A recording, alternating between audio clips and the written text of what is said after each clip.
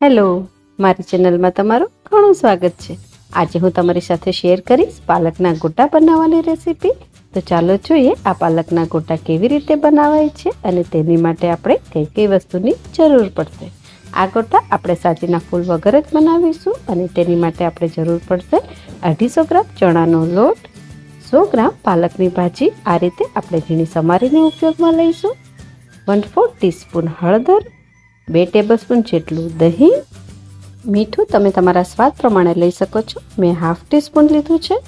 એક ટેબલસ્પૂન જેટલી આપણે ખાંડ લઈશું.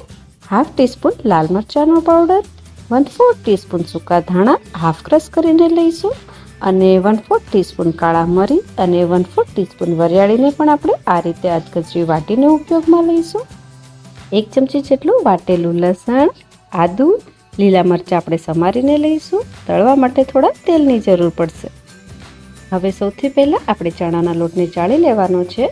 આ સ્ટેપ બહુ જ જરૂરી છે. કેમ કે જો ચણાના લોટમાં કોઈ પણ લમ્સ હોય, તો તેને આપણે દૂર કરવા બહુ જ જરૂરી છે. આ રીતે તેને આપણે ચમચાની મદદ વડે પેશ કરી અને બધો જ લોટ ચાળી લેવાનો છે. ગુજરાતી આઈટમ હોય એટલે ગળપણ તો હોય જ, તો તેમાં આપણે એક ચમચી જેટલી ખાંડ એડ કરવાની છે. મીઠું તમે તમારા સ્વાદ પ્રમાણે લઈ શકો છો. મેં લગભગ હાફ ટીસ્પૂન જેટલું લીધું છે. હાફ ટીસ્પૂન લાલ મરચાંનો પાવડર તે પણ તમે વધારે અથવા ઓછો લઈ શકો છો.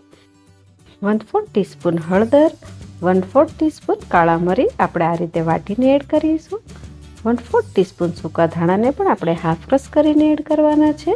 અને વરિયાળીને પણ મેં હાફ ક્રશ કરીને જ એડ કરી છે. અને તે પણ મેં વન ફોર ટીસ્પૂન જ લીધી છે. હવે આ બધા જ સૂકા મસાલાને આપણે સરસ રીતે મિક્સ કરી લઈએ. બધી જ વસ્તુને સરસ રીતે મિક્સ કરી લીધા પછી એક ઇંચ જેટલા આદુને આપણે ક્રશ કરીને એડ કરીશું. અને લસણ મેં છથી સાત કળી લીધું છે અને તેને પણ આપણે આ રીતે ક્રશ કરીને જ એડ કરીશું. બે લીલા મરચાં તેને મેં આ રીતે ઝીણા સમારીને એડ કર્યા છે અને સો ગ્રામ પાલકની ભાજીને સરસ રીતે ધોઈ અને આ રીતે ઝીણી ઝીણી સમારીને આપણે ઉપયોગમાં લઈશું. બે ટેબલ સ્પૂન જેટલું આપણે તેમાં ફ્રેશ દહીં એડ કરવાનું છે અને હવે આ બધી જ વસ્તુને આપણે સરસ રીતે મિક્સ કરીશું. આ બધી જ વસ્તુને સરસ રીતે મિક્સ કરી લીધા પછી થોડું થોડું તેમાં પાણી એડ કરતા જઈશું અને ગોટા માટેનું પરફેક્ટ ખીરું તૈયાર કરીશું. જો તમને મારી રેસીપી સારી લાગતી હોય અને હજુ સુધી તમે મારી ચેનલને સબસ્ક્રાઈબ ના કરી હોય, તો પ્લીઝ સબસ્ક્રાઈબ કરી લેજો અને બાજુમાં આપેલું બેલ બટન જરૂરથી દબાવજો. જેથી મારી દરેક નવી રેસીપીની નોટિફિકેશન તમને મળતી રહે. એકદમ પોચા અને પરફેક્ટ ગોટા બનાવવા માટે ખીરું પણ પરફેક્ટ બનવું બહુ જ જરૂરી છે. તો જ્યારે પણ આપણે આ ખીરું તૈયાર કરીએ, ત્યારે તેમાં થોડું થોડું કરીને પાણી એડ કરીશું. એટલે ખીરું છે તે વધારે ઢીલું ના થઈ જાય. જો ખીરું વધારે ઢીલું થઈ જાય, તો ગોટા થોડા ટાઈટ બની શકે છે. તો ખીરું ઢીલું ના થઈ જાય, તે વાતનું આપણે ખાસ ધ્યાન રાખીશું. હવે બધી જ વસ્તુ સરસ રીતે મિક્સ થઈ ગઈ છે. તો તેને ઢાંકી અને દસ મિનિટ સુધી સેટ થવા માટે સાઈડમાં મૂકીશું. તેલ પણ મેં ગરમ થવા માટે મૂકી દીધું છે અને પરફેક્ટ ગોટા બનાવવા માટે આપણે આ કન્સિસ્ટન્સીના બેટરની જરૂર પડશે. જ્યારે તેલ થોડું ગરમ થઈ જાય, પછી તેમાંથી લગભગ બે ટેબલસ્પૂન જેટલું તેલ આપણે આ બેટરમાં એડ કરવાનું છે. તેનાથી ગોટામાં બહુ સરસ જાળી પડે છે. અને તેલ એડ કર્યા પછી સરસ રીતે મિક્સ કરીશું અને આ બેટરને આપણે આ રીતે સતત હલાવી અને એક મિનિટ સુધી ફેટી લઈશું. આ ગોટા બનાવવામાં આપણે સાજીના ફૂલનો ઉપયોગ નથી કર્યો, તો ગોટાને સોફ્ટ બનાવવા માટે આ સ્ટેપ બહુ જ જરૂરી છે. જો તમને મારી આ રેસીપી સારી લાગી હોય, તો લાઇક અને શેર જરૂર કરજો. તેલ પરફેક્ટ ગરમ થયું છે કે નહીં તે ચેક કરવા માટે થોડું બેટર આપણે તેલમાં નાખીશું. આ રીતે તે ધીમે ધીમે ઉપર આવવું જોઈએ, એટલે કે હવે આપણું તેલ ગોટા બનાવવા માટે બિલકુલ રેડી છે.